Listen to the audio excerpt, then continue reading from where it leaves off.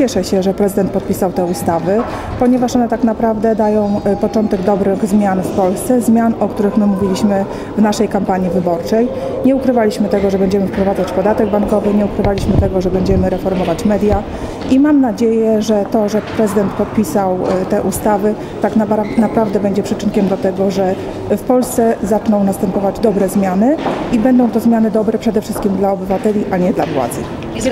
Kiedy, będzie Pani zdaniem prezes nowej telewizji publicznej?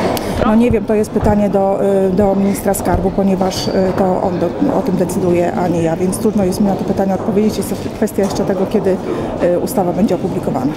Niezwłocznie ma być opublikowana, tak mówi minister Kępa. No jeśli będzie opublikowana niezwłocznie, to dalej jest pytanie do, do ministra skarbu, czy on nie, niezwłocznie powoła szefa. Ja nie umiem Państwu na to pytanie odpowiedzieć, bo to nie jest moja kompetencja. A minister skarbu powoła niepolitycznych dyrektorów i, i tak dalej?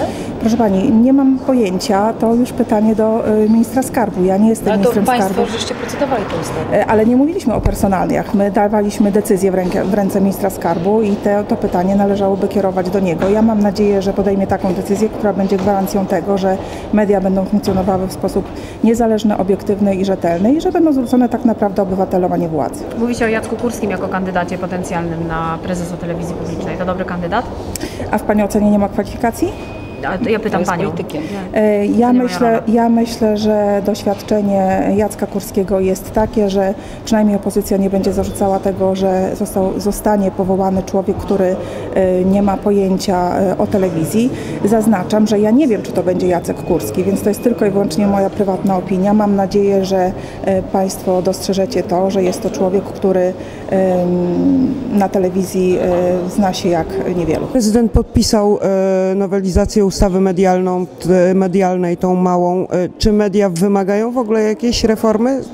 Znaczy y, na pewno, znaczy to- to coś, co się dzieje teraz jest, y, jest y, stanem strasznym i to nie chodzi tylko o upolitycznienie, u, u te wzmocnienie y, tego, co, tego systemu, który, który tutaj y, jest, ale y, też jest kwestia y, złego zarządzania. Znaczy to outsourcowanie pracowników jest y, rzeczą na granicy, y, znaczy przy- przekroczone są granice przyzwoitości, więc y, są kwestie takie techniczne, które bardzo źle funkcjonują i to na pewno wymaga naprawy.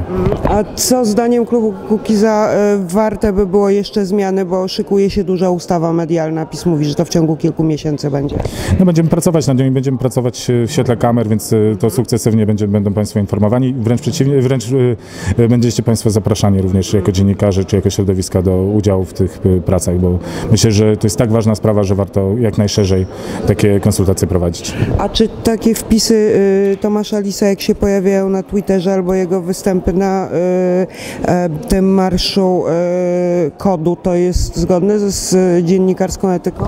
Ja jestem politykiem i nie, nie mam zamiaru oceniać etyki dziennikarskiej, bo, bo, bo to, to, jest, e, to nie jest moje zadanie. Natomiast myślę, że, że, że każdy we własnym sumieniu jest w stanie jednoznacznie to ocenić. Znaczy ta ustawa to jest tak naprawdę wyrok na media publiczne, to jest najmniej demokratyczna, najmniej europejska ustawa medialna e, chyba nie tylko w Europie, ale na świecie, bo to są media niepubliczne, nieobywatelskie, to są media w tej chwili zawłaszczone przez jedną partię i nie ma żadnych słów na usprawiedliwienie, że media będą takie czy inne, że będą teraz stanowiły inne wartości, lecz trzymały wyższe standardy. Polskie media były bardzo wysoko oceniane. Zaufanie do polskiego radia i do programów polskiej telewizji współ społeczeństwa było bardzo wysokie. Jakość tych programów była wielokrotnie bardzo dobrze oceniana. Zdobywały programy nagrody na całym świecie. Ja rozumiem, że prezes Kaczyński chce mieć swoją telewizję i w tej chwili dostał ten prezent od pana prezydenta. Myśli Pani, że Jacek Kurski będzie prezesem telewizji Ja nie wiem, ale w dzisiejszych czasach można się wszystkiego spodziewać.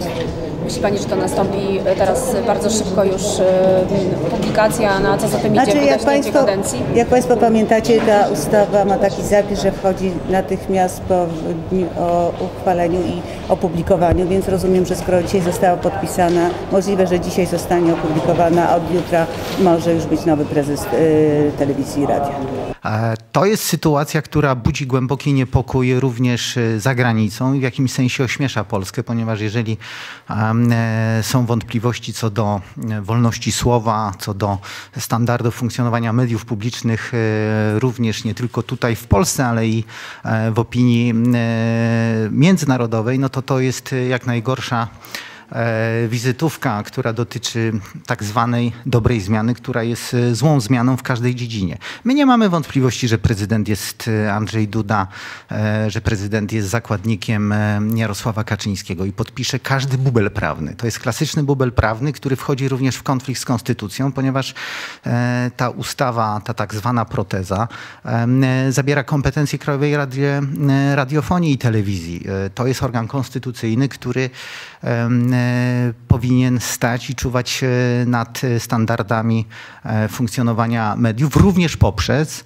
em, organizowanie konkursów. E, z tego mechanizmu zrezygnowano i w ten sposób Krajowa Rada nie będzie w stanie już e, wypełniać swoich e, prawdziwych e, funkcji konstytucyjnych.